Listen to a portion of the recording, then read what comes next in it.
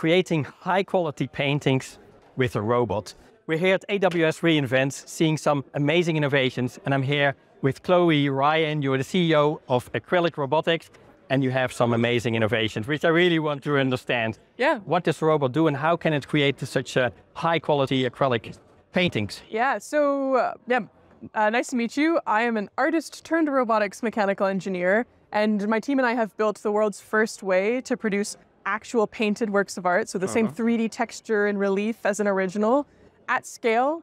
Idea being here that it's a much higher quality piece than a photo print, but for a uh-huh. fraction of the cost of an uh-huh. original. Photo. And how does it work? Because I can imagine on one end, I see it putting the paint on, on the painting.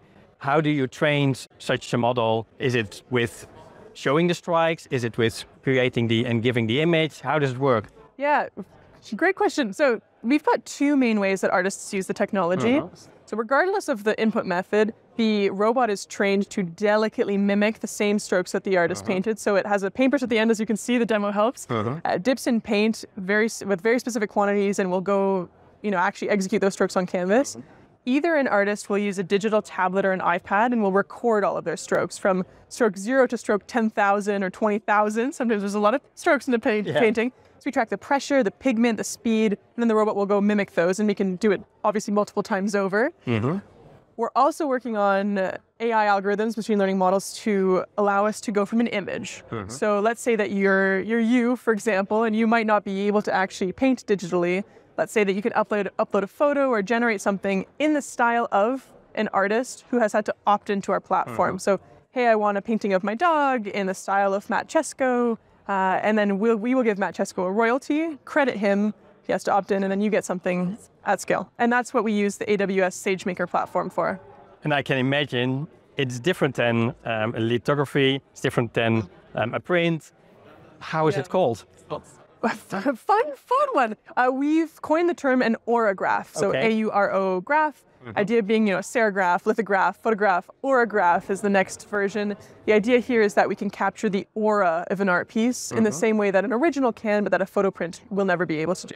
I like that. But how does artists think about this? Do they like this? Do they say it as something copying from themselves, or how do they see this? I think that there's a lot of fear, mm-hmm. and it's understandable. Mm-hmm. I think most artists, when we explain the reason that we exist and how the business model works, how the technology works, often we'll really love it and be our strongest champions. But there's mm-hmm. definitely a lot of initial fear.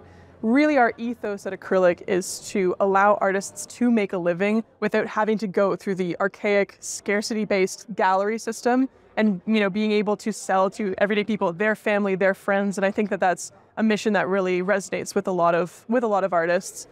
A little bit of background context there. Uh, most artists live below the poverty line. It's Yeah. really hard to make a living as an artist. Very few artists are actually able to make it into that gallery auction house market. If you do, great. But if not, you know, how do you make a living? You have to sell so many photo prints. People don't really want to buy those. They won't pay for very pay very much for them. So for us, our, our you know our message to artists is, hey, we always require your consent. We always fairly compensate you. And hmm. for you, it's a way to scale and go after new markets that you might not be able to. For example, hotel chains, they've got walls of photo prints. Artists can't individually sell to a hotel chain, but will allow them to do and, and go after markets like that. Yeah, and they want to have better quality because if there's upper class hotels, they want to have better quality paintings as well. Yeah. Yeah, I like it a lot, but you have already, I think, 500 painters or more in the in the system. So that's that's a great start, I think. But uh, if you're a painter and you think uh, you want to earn some additional money with aurographs, then uh, this is the chance. Yeah, exactly. Thanks Great a lot. to meet you. Thanks. Thank you. Thanks.